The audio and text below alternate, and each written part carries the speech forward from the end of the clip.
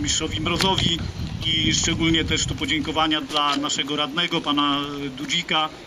Y, To dzięki y, waszemu wsparciu tutaj powstało to boisko.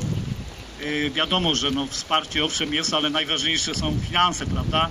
I tutaj dzięki radnym, prawda, panom burmistrzom, dzięki radnym te pieniążki się znalazły, prawda, nawet i, i na tą wspaniałą bieżnię, która była, wiemy o tym, że no, planowana troszeczkę później, ale znalazły się dodatkowe finanse na to, żeby, żeby powstał od razu y, cały kompleks. Także dziękujemy jeszcze raz serdecznie. Ja bardzo proszę y, teraz przedstawicieli y, uczniów naszych i nauczycieli wychowania fizycznego o złożenie podziękowania dla pana burmistrza. Prosimy o, o kwiatki.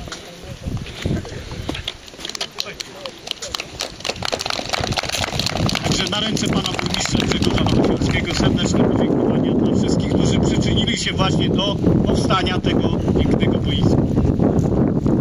Tak? No dziewczęta chciały coś tutaj powiedzieć.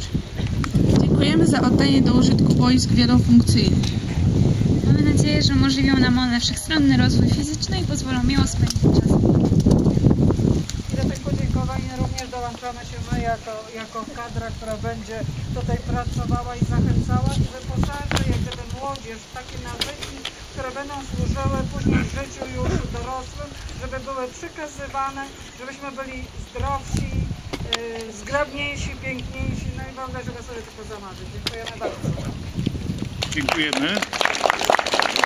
Żeby w naszych szkołach były takie standardy, żeby dzieci po prostu ich nie chciały i opuszczać. I myślę, że tak naprawdę niedaleko jesteśmy y, do tego ideału. No, służy temu ciągłe podnoszenie jakości kształcenia, ciągle po- podnoszenie też y, jakości bazy. I tu nie chodzi tylko o jakby tą bazę sportową, ale generalnie pracownie, wyposażenie, cała działalność szkół. E, To boisko, które Wam dzisiaj przekazujemy, nie jest zamiast sali gimnastycznej. Jest, bo powinno, e, zespół szkół powinien mieć po prostu w dzisiejszych czasach e, bazę sportową i z prawdziwego zdarzenia e, boisko. Prace nad salą gimnastyczną będą kontynuowane. Tak naprawdę nie jest rzecz w pieniądzach, ponieważ jak wspomniał pan burmistrz Mróz, to jest to boisko kosztowało 700 tysięcy złotych z dofinansowaniem 100 tysięcy, a sala gimnastyczna będzie kosztowała około miliona złotych. Więc, więc to nie jest problem w finansach, problem jest w wykonaniu jej na tym miejscu. Najlepiej, gdyby ona się łączyła z budynkiem głównym, żeby nie trzeba było ubierać się i przechodzić na salę gimnastyczną. I jakieś rozwiązania optymalne na pewno zostaną w przyszłości wypracowane i panie dyrektorze obiecuję, że pan doczeka się e, tutaj otwarcia również e, sali gimnastycznej.